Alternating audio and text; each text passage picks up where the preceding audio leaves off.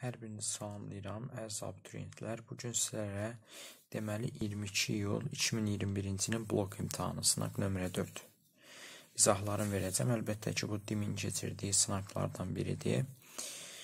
Vaxt itirmədən başlayaq sınağın izahlarına. Deməli, birinci sual loqaritmaya aid sualdır. Qeyd dəftərlərinizi götürün. Həqiqətən çox maraqlı suallar var burada. Çox maraqlı imtahana düşə biləcək tip suallar.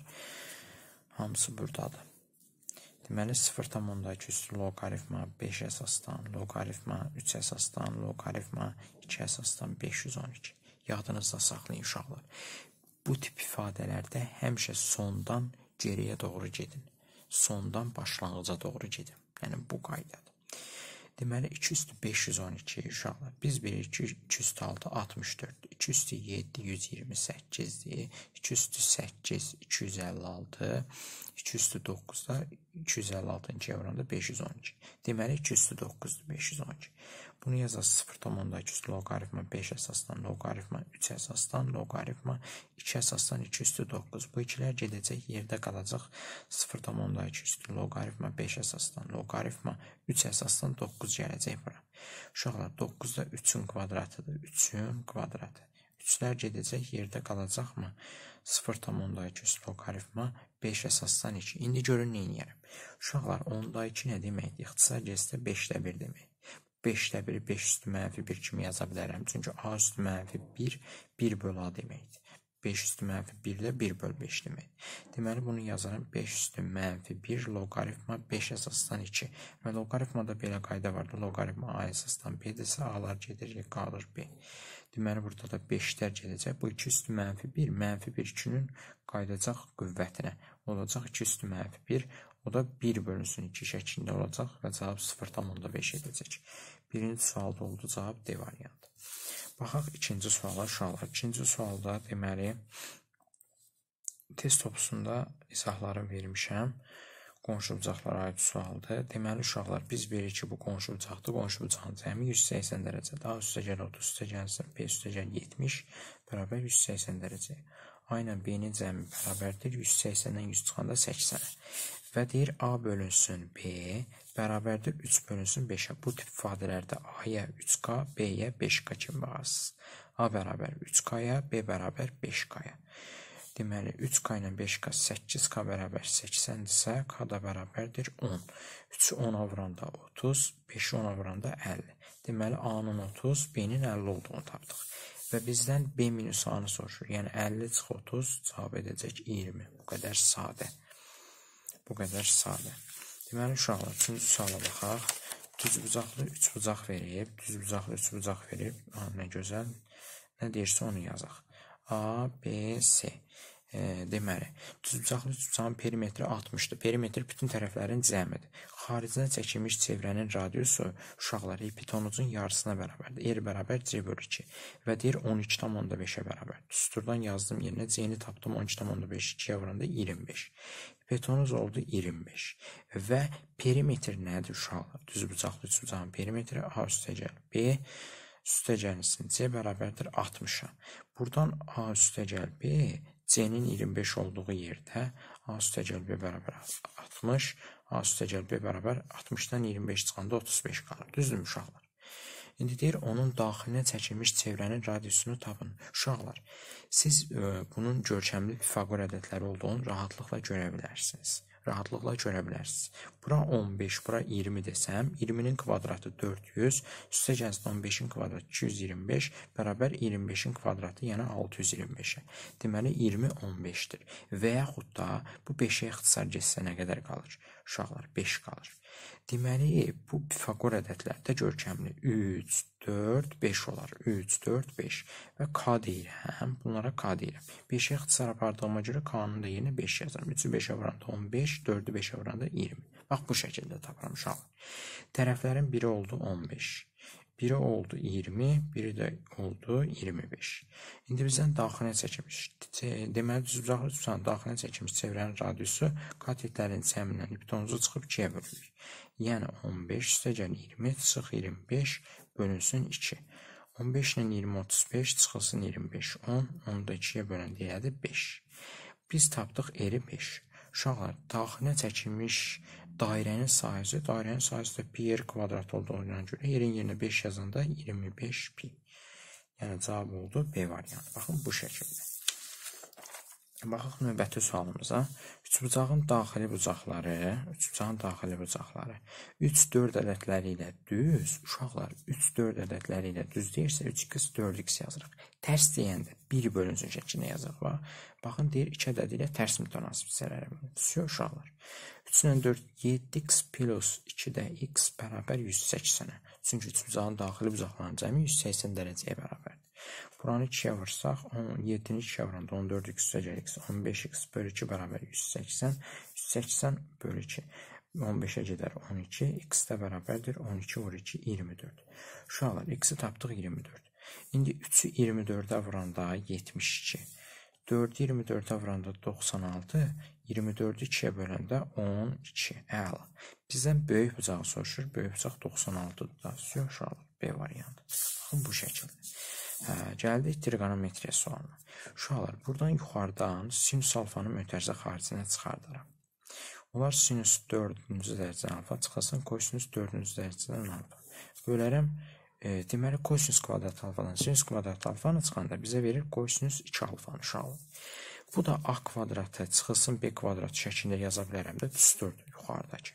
Deməli olacaq sinus alfa vurulsun sinus kvadrat alfa Üstə gəlsin kosinus kvadratı alfa.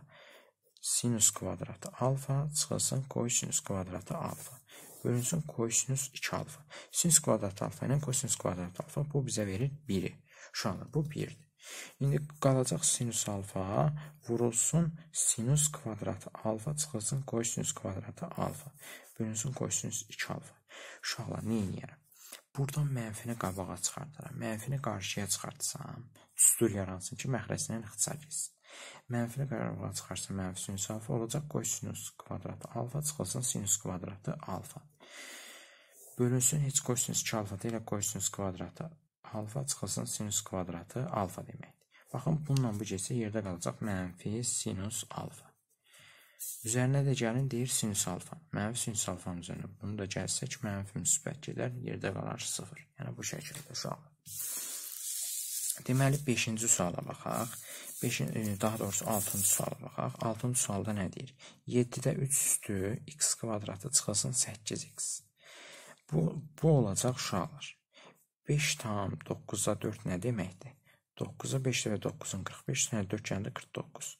Yəni 3-də 7-nin kvadratıdır da bu. 3-də 7-nin kvadratıdır. Bunu yazıram 3-də 7-nin kvadratı. Vurulsun 14 minus 4x. Bu da olacaq 7-də 3, x kvadratı çıxılsın 9x. Bu da olacaq 3-də 7, 28 çıx 8x. Əla. Buranı mənfi 1 yazsam, uşaqlar. A üstü mə, e, deməli A, B üstü mənfi 1, yerlər dəyişəcək, B bölsün A olacaq. Deməli, bunda mənfi 1 yazsam olacaq 3-də 7 üstü 9x minus x kvadratı böyüdür 3-də 7 28 minus 8x. Əsaslar eyni olanda, deməli, qüvvətlər də belə olur. Bir-birinə bərabər şəkildə olur. 28 minus 8x. Əla. İndi bunları keçirsəm bir tərəfə yıxsam, olacaq x kvadratı, e, deməli, minus, düz yazdıq uşaqlar hər şeyi.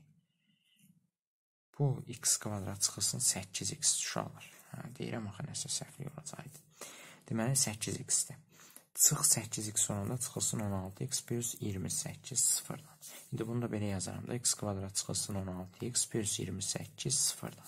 Tənliyin kökləri x çıx 14, x çıx 2-dir. Çünki 2 ilə 14-dür və əks işarə ilə yazılır. 2, 14 intervallara verəndə. Deməli, heç birində almadığına görə boş aralıqdır. Bizdən nəyi soruşur? Deməli, mənfi aralığı soruşur. Biz 14-dən böyük ədəd qoyanda müsbət, mənfi, müsbət etdiyinə görə bizdən mənfi aralığı soruşur. 2 ilə 14 aralığını götürəcəyik uşaqlar. Yəni olacaq cavab A variantı. Bu şəkildə. Bu şəkildə. Keçək növbəti sualımıza. 7-ci sualda nə deyir? Kosinus kvadratı 2a kvadrat üstə gəlsin 10-a minus 28 üstə gəlsin sinus kvadratı a kvadrat üstə gəl 4a minus 12 bərabərdir 1-ə. Uşaqlar, bu nə vaxt bərabər ola bilər? Kosinus kvadratı alfa ilə sinus kvadratı alfa 1 eləyir. Deməli, bunun da arqumenti eyni olmalıdır. Bunun da arqumenti eyni olmalıdır. Deməli, bu ifadə bu ifadəyə bərabər olmalıdır. 2a kvadrat plus 10a minus 28 bərabər olmalıdır. a kvadrat plus 4a minus 12-yə. Bu olacaq a kvadratı plus 6a minus 28-dən 12 çıxanda 16 bərabərdir 0. Tənin kökləri a deməli a1 bərabər mənfi 8, a2 bərabər 2. Bizdən natural qiymət soruşdu. Ona görə müsbət, yəni 2-ni götürəcəyik bu şəkildə. Sonra uşaqlar, baxın bunun üstündə qeyd edəcəm. Bizdən əkobların soruşur 15, 14, 16. Ardıcıl ədədlərin əkobunu soruşursa faktorialda, e, faktorialda. Biz onda bunların ən böyüyünü götürəcəyik. Əkob olaraq ən böyüyünü götürəcəyik. Yəni əkobumuz olacaq 16 faktorial. Əbobumuz isə olacaq, uşaqlar, əbobumuz isə olacaqdır. Bunların ən kiçiyi Baxın, ən kiçik olacaq. Yəni 14 faktorial ən kiçiyimizdir. Heç nə, 16 faktorialı bölün 14 faktorial. O zaman olacaq 16 vur 15 vur 14 faktorial bölünsün 14 faktorial. Bunlar da ixtisar geçsə 16 vur olsun 15 bizə verəcək 240. Cavab olacaq Y variantı. 9-cu sual özü çox sadə sualdır. Deməli, Deyir, C parametrinin hansı müsbət qiymətində funksiyanın törəməsinin ən böyük qiyməti olar? Funksiyanın törəməsi e, ağzında deyir də bu. Deyir ki, funksiyanın törəməsinin ən böyük qiyməti. Yəni, törəmə tapdı bunu. Deməli, uşaqlar, biz bilirik ki, biz bilirik ki, sinus kvadrat x-in törəməsi nədir? Sinus kvadrat x-in törəməsi kosinus kvadratı x-dir, düzdürmü? Bunun törəməsi nə olacaqdır? Bunun törəməsi nə olacaqdır? Olacaqdır 2 dənə kosinus kvadratı e, kosinus c kvadratı x e, və bir də ki, bu qarşıya keçəcək uşaqlar. Bu c kvadrat da qarşıya keçəcəkdir. Kosinus c kvadratı qarşıya keçəcək də. Törəmə tapanda tutaq ki, sinus 4x-in törəməsini tapanda nə olurdu? Kosinus 4x ancaq bu 4 də qabağa keçəcək. Deməli, bu c kvadrat da önə keçdi. Əla. 11x-in törəməsi 11, 8x-in törəməsi 0-dır heç nə deyir, bərabər olur 29-a. Buradan da qorxulu bir şey yoxdur da uşaqlar. Deməli, bunu səlqəli yazam ki, c kvadrat qoysunuz c kvadrat x plus 10 deməli, plus sonunda bu keçsə bu tərəfə 29-dan 11 çıxanda 18. İndi uşaqlar, qoysunuz kvadratı dediyinə görə e, normala qalsa mənfi 1-lə 1 aralığında alır qoysunuz. Ancaq mənfi 1-lə 1 aralığında alır. Ancaq yadınızda saxlayın ki, uşaqlar, yadınızda saxlayın ki, ən böyük qiymət soruşur deyə 1-i qoyasınız yerinə. Ən böyük qiymət soruşur. Deməli olacaq 2 dənə c kvadratı, qoysunuz, bax bunu yenə 1 yazasınız. 1 yazanda. 2c kvadratı bərabər 18, c kvadratı bərabərdir 18, 2, 9, c də bərabər müsbət mənfi 3. Hansı müsbət qiymətində dediyinə görə müsbət 3-ü götürəsiniz. Əgər mənfi desəydi, mənfini götürərsiniz. Onun sual özü çox sadə sualdır.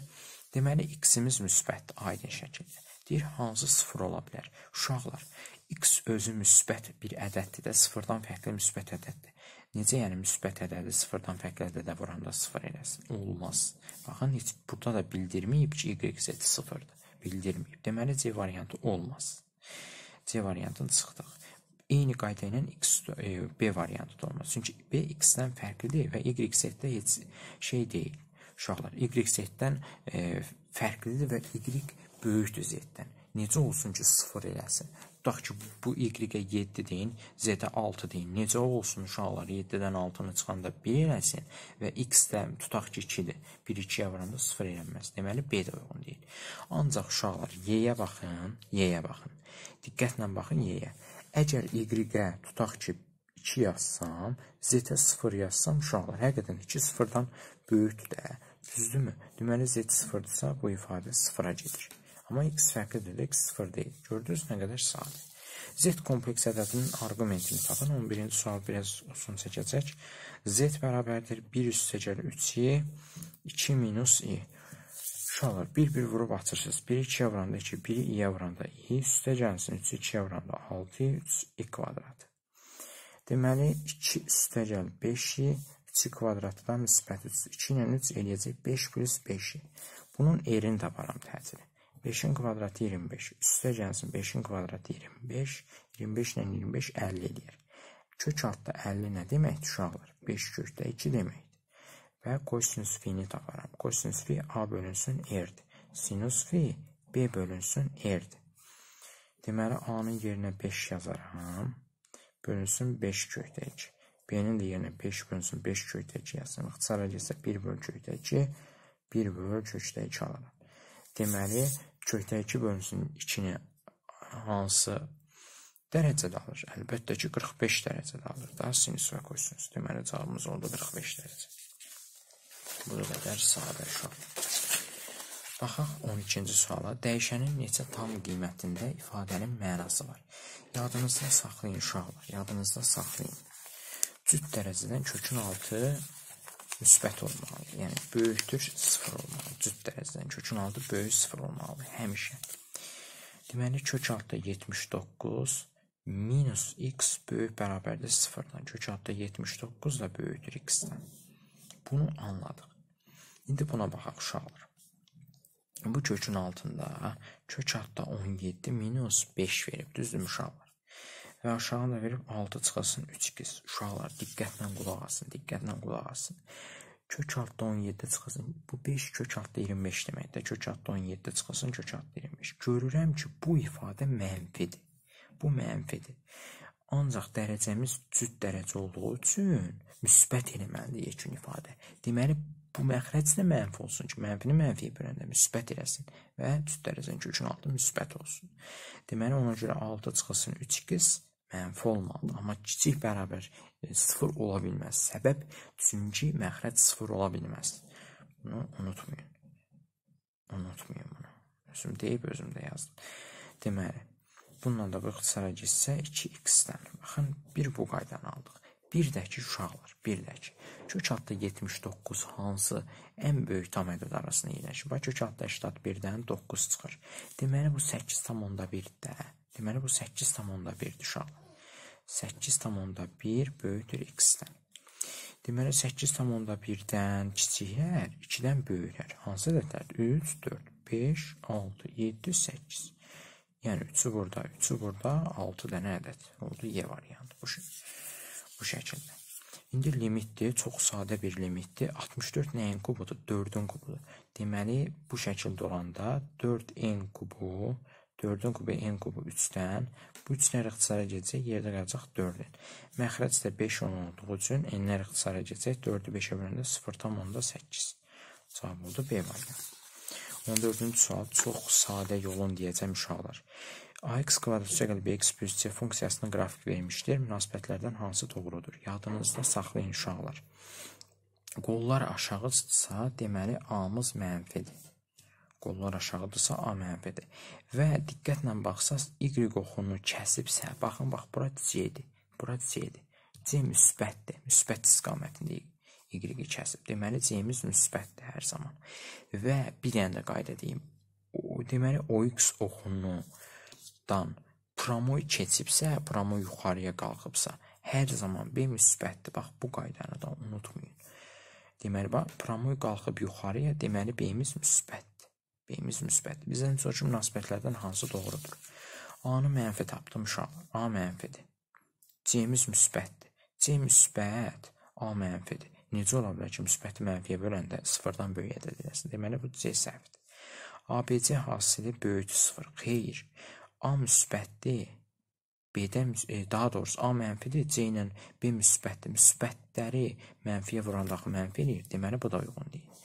Sonra A-mız mənfidir, B-miz müsbətdir. Necə olsun ki, mənfini müsbətə bölündə mənfi eləsin və sıfırdan böyük olsun? Olmaz. A-nı C-yə vuranda A-mız mənfidir, C-miz müsbətdir. İkin ifadə mənfi olar da uşaqlar. Necə olub ki, sıfırdan böyük olmaz? Deməli bir dənə qaldı A variantı. 15-ci suala baxaq uşaqlar.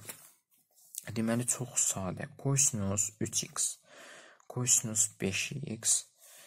Bunu keçirərəm bu tərəfə. Üstə gəlsin sinus 5x, sinus 3x bərabərdir 0,5-də 2-də 1 deməkdir. Və bu bizə kosinus alfa minus betanın düsturunu verir. Yəni kosinus 5x çıxırsın 3x-in düsturu. Yəni kosinus 2x bərabər 2-də 1. Və xüsusi halında alır da 2-də 1-i. Hansı halında alır? Kosinus 2-də 1-i alır. Pi bölünsün 3-də, yəni 60 dərəcədə. Pi bölü 3-də gəlsin 2 pi k və yadınızda saxlayın müsbət mənfi pi bölü. x də bərabərdir. Hər tərəf 2-yə bölsək, pi bölü 6 üstə gəlsin pi k. Müsbət mənfisi olmaq şərti ilə cavab oldu A variantı. Bu şəkildə. 16-cı sual çox sadə sualdır. Həqiqətən belə sistem tənliklər düşsə nə var ki? 2x plus y bərabərdir 15-ə, x minus 4y bərabərdir mənfi 6-ya. Deməli, buranın yuxarısını 4-ə vursaq, 8x plus 4y bərabər 15-i 4-ə 60, x minus 4y bərabər mənfi 6. Bunlar ixtisa geçsə, deməli 8x-dən x-i toplasaq, 9x bərabərdir 54, x də bərabər 6. x-i tapdım 6. x-i tapdım 6, gətin x-in yerinə 6 yazın uşaqlar. 8-i 6-ya vuranda 48, üstə gəl 4y bərabər 60-a. 4y bərabər 60-dan 48 çıxanda 12, y-i tapdım 3. İndi x-in yerinə 3 yazın uşaqlar. Daha doğrusu x-in yerinə 6 yazın. 5, 6, 30 minus y-in yerinə 3 yazanda 3a bərabərdir 0-a. Buradan 3a bərabər 30, a da bərabər 10. Sü, a-nı 10 tapdıq. İndi keçək 17-ci sual. ABC 3 bucağında baxın, B bucağı 90 dərəcə veribdir və BD AC-yə perpendikulyardır. Yəni buranı 90 dərəcə verib. AB-ni 15 verib uşaqlar. BD-ni 12 verib. Bizdən BC-nin uzunluğunu soruşur. Əlbəttə ki, bura 12-dir. Bura 15-dir. Avtomatik bura nə qədər qalacaq? Bura 9 qalacaq da. Çünki 12-nin kvadratı üstə gəlsin 9-un kvadratı bərabərdir 15-in kvadratına. Sonra uşaqlar Düzbucaqlı üçbucaqda belə bir qayda var. Düzbucaqlı üçbucağın düz bucaq təpəsindən çəkilmiş hündürlük m-in h-ın kvadratı bərabərdir m-inə. Yəni 12-nin kvadratı 144 bərabərdir. Burada x desəm 9 vurulsun x-ə. Buradan x-i taparam 16. Buranı 16 tapdımsa 12, 16, BC nə olacaq? 20 olacaqdır. Çünki Pifagor teoremidə 12-nin kvadratı 144 ilə 256, 400, 400-dən də 20 çıxır. Deməli, cavab oldu D variantı. 18-ci sual maraqlı sualdır. Maraqlı sualdır həqiqətən. Çox uşağın səhv elədiyi sual tiplərindən biridir, amma həqiqətən çox asan sualdır.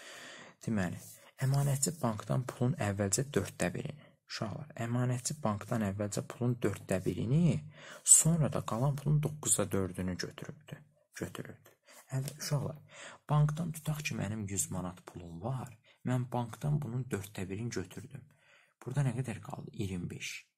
Yəni 25 nədir? E, deməli 100-dən e, deməli 4də 1-ini mən götürdümsə, yəni mən burdan 25 manat götürmüşəm. Hə, cibimdə nə qədər qalıbdı? Cibimdə 75 manat qalıb.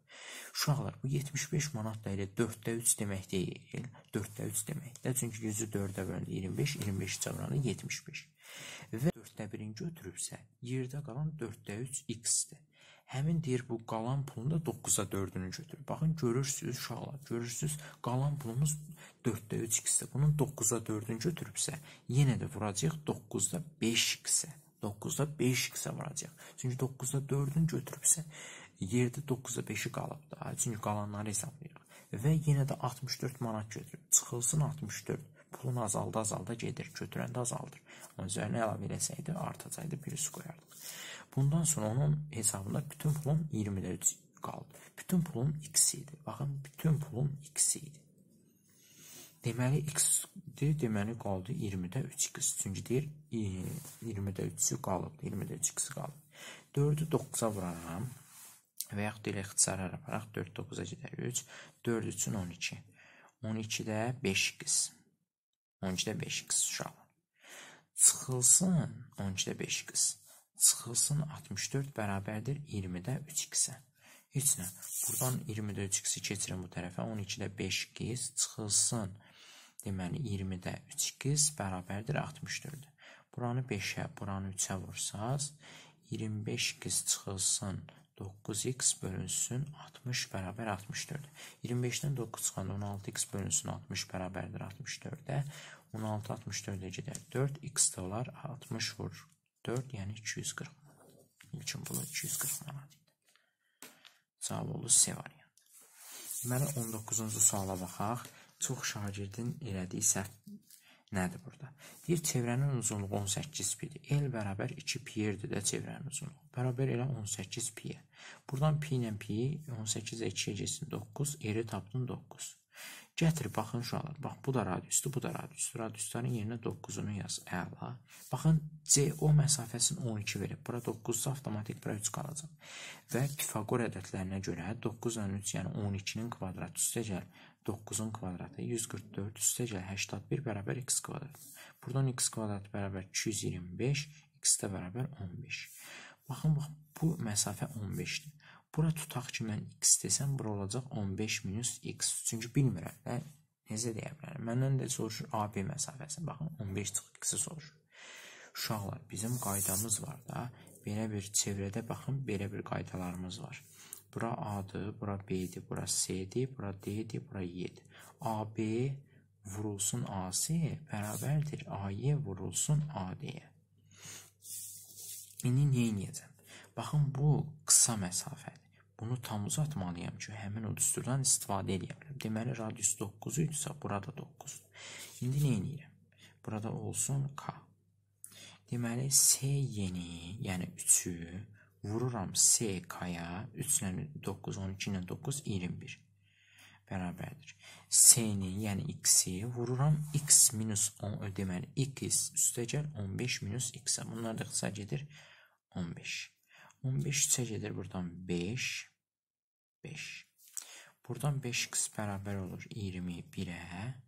X də bərabər olur, səhv eləmirəmsə 4,2. Aha, hə, düzdür. 4,2-yə bərabər olur. İndi Bizdən AB məsafəsini soruşduğuna görə 15-dən 4,2 çıxanda nə qədər edir? 15 çıxılsın 4,2 eləyəcək 10,8. Yəni cavab oldu B variantı. Baxın, bu şəkildə uşaq. Həqiqətən çox maraqlı suallardır uşaqlar. Qeyri-müəyyən inteqralını tapın. Yadınızda saxlayın. Bu tip ifadələrdə nə edirsiniz? Tərəf tərəfə bölürsünüz. Hər tərəfi məxrəcə bölürsünüz. Olacaq sinus kvadratı x bölünsün sinus kvadratı x üstə gəlsin 1 bölünsün sinus kvadratı x.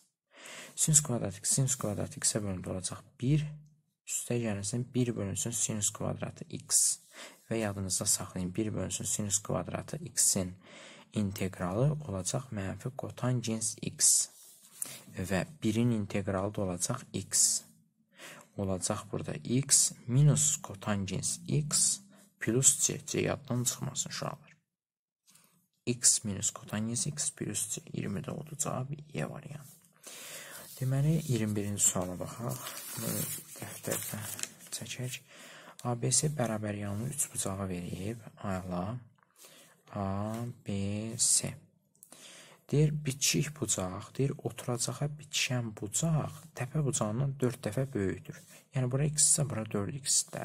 Əlbəttə ki, e, oturacağa bitişik bucaqlar təpə bucaqdan kiçik olacaqdır. Əla. Bura x-isə burada x-dir. Çünki e, oturacağı bitişik bərabər yanlı çıxsaqda oturacağı bitişik bıçaqlar bərabər. x üstə gəl, x üstə gəl 4x, yəni 6x bərabər 180, x də bərabər 30. 180-ə bərabər 2, 3 tane daxili cəmi 180 dərəcədir. x-i tapdım 30. Burada 30. Və deyir, oturacağa çəkilmiş təm bölən, oturacağa təm, təm bölən çəkilib. Yadınızda saxlayın, bərabər yanlı üç bucaqda təpədən çəkilmiş təm bölən həm hündürlük, həm də ki mediandır. Oturacağa çəkilmiş təm bölən 6-dır. 30 dərəcəli bucaq qarşısındakı qat iptonuzun yarısına bərabərdir. 60 dərəcə, bura 120 idi, 60-60 bölündü təm bölən olduğu üçün. 60 dərəcəli bucaq qarşısındakı qat Digər qatetin kök 3 mislidir 6 kök 3. Deməli, burada olacaq 6 kök 3. Çünki mediandır və sahə düsturumuzda 2-də 1 A H olduğuna görə 2-də 1 oturacaq 6 kökdə üçün 6 kökdə üçün cəmi, yəni 12 kökdə 3, hündürlük də 6-dır.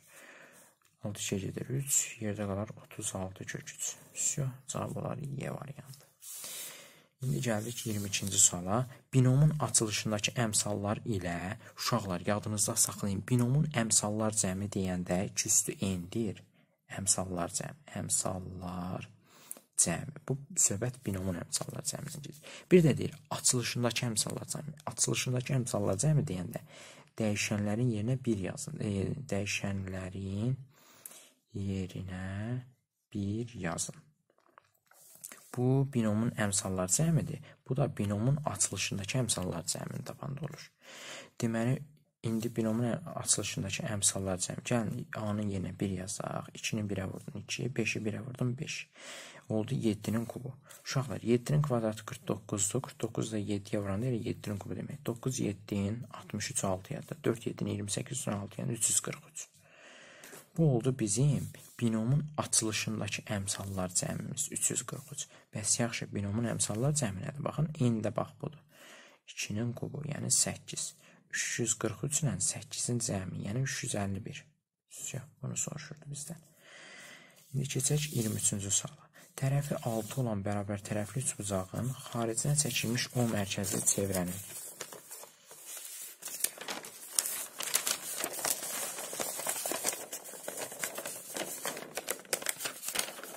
Onun müstəvisinə uzunluğu kök şartda 13 OK perpendikulyarı qaldırılmışdır. K nöqtəsindən çevrəyə qədər olan məsafəni tapın. Deməli, uşaqlar, bu tip ifadələrdə nə edirsiniz? Bu tip ifadələrdə nə edirsiniz? ən yaxşı variantları deyəcəm sizlər üçün. Deməli. Hı -hı. Bir dənə çevrə çəkirik uşaqlar. Bir dənə çevrə çəkirik və deyir ki, bu çevrədə bərabər tərəfli üçbucağın bərabər tərəfli üçbucaqdır. Buradan bir dənə deyir OK perpendikulyarı qaldırılmışdır. Əla qaldırılsın. OK perpendikulyarını qaldırdıq. Baxın, buranı da belə çəkdik. Uşaqlar, həmin bu OK perpendikulyarı, OK perpendikulyarı. Bura kök altda 13-dür, yadınızda saxlayın. Və deyir, tərəfi 6 olan, yadda saxlayın, tərəfi 6 olan deyirsə, uşaqlar, baxın, bura radiusdur. Bu, bərabər tərəfli tutsan, xaricə çəkilmiş çevrənin radiusu. R bərabər A kökdə 3 bölünsün 3. Tərəf 6 olduğuna görə 6 bölü 3, yəni 2 kökdə 3-dür. Deməli, buranı tapdım 2 kökdə 3. Deməli, 2 kökdə 3-ün kvadratını 13-ün toplasam, baxın, bu məsafəni, K nöqtəsindən çevrəyə qədər olan məsafəni tapa bilərəm. Kök adda 13-ün kvadratı. Üstə gəlsin. 2 kökdə 3 nə deməkdir? 2 kökdə 3 kök adda 12 deməkdir. Kvadratı bərabərdir x kvadratına. Sö uşaqlar. Bu da olacaq 13-ün kvadratı. E, kök adda 13-ün kvadratı 13, üstə gələn 12 bərabər x kvadratı. x kvadratı bərabər 25, x də bərabər 5. Cavab 5. Hı -hı. Baxaq buna. 24-cü sualda maraqlı sualdır. Ədədi silsilə verib A15 bərabərdir MK-ya. MK nə deməkdir? Tutaq ki, AB olanda nə yazırdınız? 10-a üstəgəl B-yə. Üstədə A15 açın, A1 üstəgəl 14-dir. Bərabərdir 10M üstəgəl K-ya. A6 bərabərdir uşaqlar. A6 bərabərdir. K imə. K imə açanda A1 üstəgəl 5D bərabərdir 10K üstəgəl imə. Düzdür uşaqlar. Əslində bu A15-i biz A6-ya görə aça bilərdik. A6 üstəgəlsin 9D bərabərdir 10M üstəgəl K-ya. A6-nın yerinə də gətirib yazaram 10K plus M. Gətirin yazın 10K plus M 9-dir. Silsilə fərqi 8-dir. 9 8-in olacaq 72. Bərabərdir 10m üstə gəlsin k-ya. Deməli, nə edirsiniz? Buradan e, m-i keçirin bu tərəfə. Olacaq 9m çıx 9k bərabər olacaq 72. Hər tərəf 9-a ixtisar aparsaq, m çıx k bərabər olacaq 8-ə. Və bu hansı halda ola bilər uşaqlar? M-in 9, k-nın 1 qiymətində. Başqa? Başqa 8 0 ola bilər, amma ola bilməz. Ola bilməz. Niyə ola bilməz? Çünki 0 ilə başlayan ədəd yoxdur deyir. Yerlərini dəyişəndə də başqa ədədlər alınır. Baxın MK 0 ilə başlayan ədəd yoxdur. Deməli bu nəzərə alınır. Oldu 9 ilə 1. 9 k-da 1. İndi nə edirsiniz? M-in yerinə 9 yazırsınız. 9-un kvadratı 81, üstə gəlsin 1-in kvadratı 1. Oldu 82. Syo, cavab oldu 82. Cavab 82. Hı -hı. 25-ci suala bax. Düz prizmanın oturacağı katetlərdən biri 9 sm. Uşaqlar, baxın, düz prizmadır. Deyir, katetlərindən biri 9, iptonuzu 15 isə avtomatik bu nə olacaq? Bunun proyeksiyası nə olacaq? 12 olacaq. Əla, tapdıq bunu. Bizdən soruşur ki, düzbucaqlı üçbucaqdır. Bunun oturacağı düzbucaqlı üçbucaqdır. Oturacaq düzbucaqlı üçbucaqdır. Onun yan səthinin sahəsi uşaqlar S-yan bərabərdir. P oturacaq vurulsun H-a. P oturacaq vurulsun H-a. Prizmanın yan səthini tapanda P oturacaq vurursunuz H-a. P oturacaq da oturacağın düzbucaqlı üçbucaq verməyib. Düzbucaqlı üçbucağın perimetrini tapırsınız. P bərabər 15 ilə 12 nə qədər? 27. Üstünə 9 gəndə 36. H-ı da bizə verər də yəqin ki. Bəli. Yox. Onun yan səthinin sahəsi 180-dir. H-ı verməyib. H-ı verməyib. H-a elə H kimi yazdıq. Və 36, P-nin yerinə 36 vur H. Yan səthin 180 verir. Buradan H-ı taparam 5. Onun yan səthinin sahəsi budur. Həcmi nədir? Yadda saxlayın. Fəza fiqurlarında S oturacağı vurursuz H-a. Həcm deyəndə S oturacağı vurursuz H-a. S oturacaq da ki, əlbəttə ki, oturacağı deyir düzbucaqlı üçbucaqdır. Düzbucaqlı üçbucağın sahəsini tapırsınız. Oturacağı. S oturacağın sahəsi 12 vur 9, katet ərazisinin yarısı. 2 gedər 9 6 onlar 54. 54 hündürlüyü də 5 tapmışdıq, olacaq 270. 54-ü 5-ə vuram. Cavab 270 bu şəkildə. 26-cı sual baxaq. Düzgün çox bucağının bir xarici bucağı, bir daxili bucağının 25 faizini təşkil edir. Deməli, uşaqlar, bir daxili bucaq, bir xarici bucaq deyəndə 360 dərəcə bölün. Bir xarici bucaq deyəndə 180 dərəcə vurulsun, n-2 bölünsün n. 25 faizini deyirsə 25 bölün 100-ə faiz nə deyir? Buradan n-lər ixtisar edirsə 180 60-a ixtisar, 360-a ixtisar edirsə 2, 100 də 25-ə getsə 4. Əla. Yerdə qaldı n çıx 2 böl 4 bərabər 2 n çıx 2 bərabər 4 2 8, n bərabər 10. Bizdən diaqonalların sayını soruşur. Diaqonalların sayı n vurulsun n minus 3 bölünsün 2 ilə tapılır. 10 vurulsun ondan 3 çıxanda 7 bölü 2 35. Cavab oldu 35. Gəldik 27-ci suala. Baxın bunu deyəcəm. x kvadrat üstə y kvadratı bərabər r kvadratına. x minus a-nın kvadratı üstə gəlsin y minus b-nin kvadratı bərabər r kvadratına. Deməli, hər halda da, hər halda da r kvadratı. Deməli, bu r kvadratıdırsa, r kvadratı bərabər 64, r bərabər 8. Deməli, birinci halda radiusumuz 8-dir. Radius 8 isə diametr bərabərdir 2-yə. 2-ni 8-ə vuranda eləyəcək 16. Deməli, 1-ə uyğun gəldi, 16, diametr 16-dır və mərkəzi koordinat başlanğıcındadır. Mərkəzi koordinat başlanğıcındadır. Yəni dəyişənlər sıfırdır ki, da x-dən sıfıra çıxanda x kvadrat sonra y kvadrat bərabər r kvadrat qalıb. Yəni c-yi. İkinciyə. Bunun əks işarəsi götürülür a.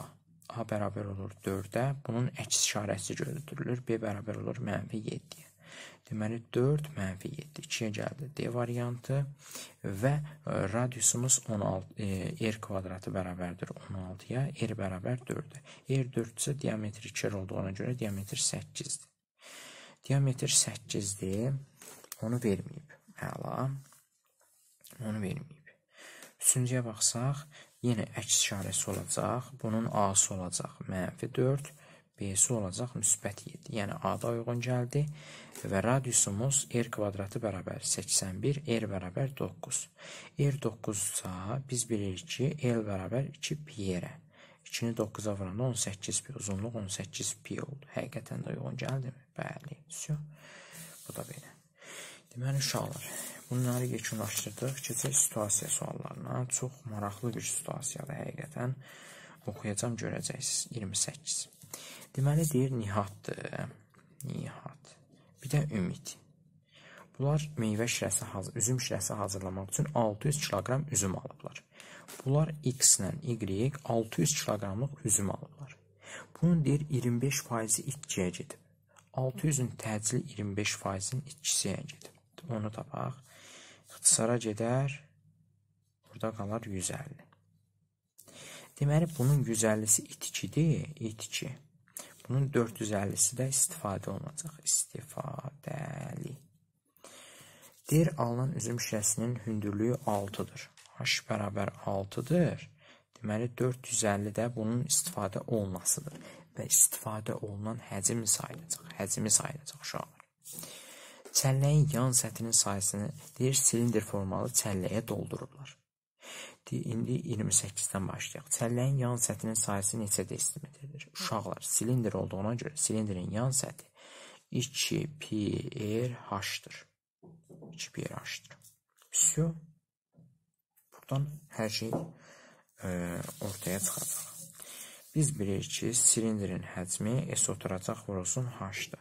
Oturacaq da pi R kvadratı vur H bərabər olacaq həcmi 450-dir. Pi-nin yerinə 3 yazasınız. H-ı da verib də 6. R kvadratı bərabərdir 450-yə. 450 3-ə gedər. Nə qədər qalar? 150. R kvadratı bərabər olar 150-ni 6-ya böləndə 25.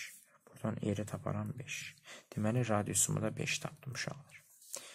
Radiusumu bilirəm, hündürlüyümü bilirəm. Heç get yerinə yaz. 2-yi vurulsun. Pi-nin yerinə 3 yaz. Radiusun yerinə 5 yaz. Hündürlüyün yerinə 6 yaz. 2-də 3 6. 6-da 5 30. 36-ya vuranda 180. Cavab 180 birincidə. İndi onlar üzüm şişəsinin 1 litrini x 5 manata. 1 litrin 5 manata alırlar. 5 manata satırlar daha doğrusu. Alıcı ödənişi 50 və 100 manatlıq edir. Biz belə edək. 50 manatlığa, 50 manatlığa x deyək. 100 manatlığa, 100 manatlıq y olsun uşaqlar. Bərabərdir y-ə. İndi deyir əskinaslara edərək 32 ədəd əskinas verdi. Neçə ədəd 100 manatlıq əskinas var? Deməli, bu x-lə y-in cəmi 450-dir uşaqlar. Çünki bu meyvə şirəsinin 400 EBA satıblar. Satıblarsa bunun istifadəsi bax, biz dedik axı istifadəli olan 450-dir. X plus Y 450 olacaqdır. Satılanlar. X plus Y 450 olacaqdır. Qulaq asın indi. Deyir ki, bunun da 50 və 100 manatlıqdır. 50 manatlığa 50 qiz, üstə gəlsin 100 manatlığa 100 Y. Bərabər olacaq nəyə? Bərabər olacaq nəyə uşaqlar?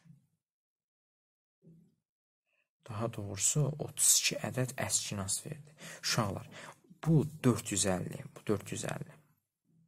Hı -hı. Deməli, əslində bunu belə də yaza bilərdik. Biz əslində bunu belə də yaza bilərdik uşaqlar. Deməli, necə yaza bilərdik? Deməli, necə yaza bilərdik? Hər bir şey əslində qaydasındadır. Y 450 yox uşaqlar. 450 yox. 5 manatdan satıblar da, düzdürmü? 5 manatdan satıblarsa -hı. Deməli uşaqlar, aha. Buradan 50x plus 100y bərabər olacaq 450-yə. Çünki deyir ki, 450-sin 450 vurulsun uşaqlar. 450 vurulsun. 5-ə bərabər olacaq. 450 vur 5. Çünki 5 manatdan satıb. Hər tərəfi x-ə ixtisar aparsa, 50-yə ixtisar aparsaq, x plus 2y bərabər olacaq 450-yə ixtisar aparsaq, 9-a 5-in 45. Və x plus y də bərabər olacaq 32-yə. Əla. Çünki uşaqlar 5-ə vurmaqda səbəbimiz odur ki, biz bunun 450-sindən istifadə etmişik. İstifadəli 450-dir.